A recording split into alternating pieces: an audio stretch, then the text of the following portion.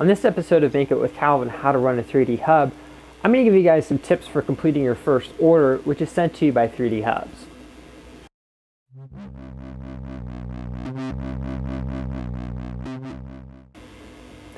So once your hub is all set up and ready to go, the first thing that 3D Hubs will do is they will send you the Marvin model as a test print, and it also gives you a good walkthrough of how the system works, if you have any problems, things like that.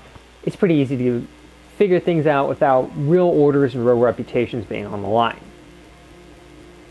Now the first thing you'll notice if you're running an FDM printer like I am, which also happens to be doing a 3D Hubs order, is that the Marvin model is pretty darn tiny.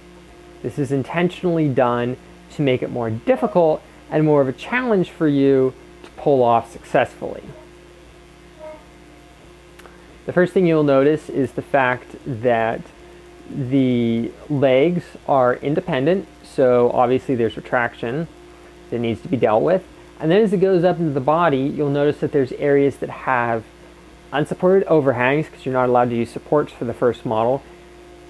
And also areas that are tiny and somewhat delicate, which would be the top where the keychain mount is.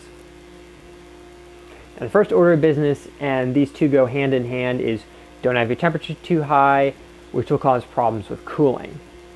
Now, if your printer is like mine and it has a pretty decent cooling setup on it, obviously make sure your temperature is not ridiculously high.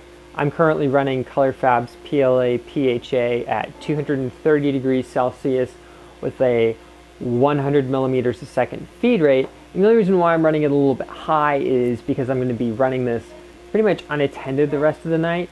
So I'd much rather have a little bit higher than not high enough and run into flow issues. On the contrary, on a tiny model like this, you're going to want to drop your temperature and up your cooling as much as you can. Some people will even set up a small desk fan aimed at their printer to help improve the cooling while doing small prints. Obviously the only concern I have with doing this is sometimes the nozzle and heater assemblies are not very well insulated the heater can't keep up and the machine calls a temperature error, but that's just something that might or might not happen on your machine, so experiment and find out. The other thing to keep in mind with the model is don't print too fast and don't print too slow.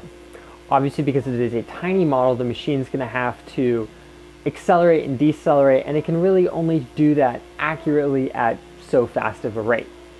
These are big models that I'm printing right now so I can easily get away with 100 millimeters a second, but I don't think it would work on a model as small as the stock Marvin. I tend to run them around 30 to 50 millimeters a second, and that gives me the best results. Lastly, if all else fails while you're printing your Marvin, the talk section on 3D Hubs is amazing. There's tons of helpful people out there. If you're having problems, you could even try the administrator support on the order, but there's no shame in running on to the forums and saying help, help, I need, I'm having this problem, I'm having that problem, and peek around. You might find somebody who has the similar printer to yours that's had similar problems and somebody gave a great answer. That's the beauty of 3D Hubs is the fact that everybody is pretty open and willing to share useful information with you because at the end of the day, it's mutually beneficial. There could be 10 other people sitting out there going, I don't know how to do this. They read your post, problem solved. So I hope that helped you guys a little bit with the Marvin model as it is a little bit tricky and it's not impossible to do, but it's definitely a good challenge for your printer.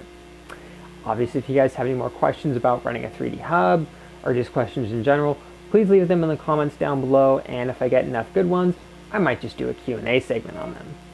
So I'll see you guys next time on Make It With Calvin.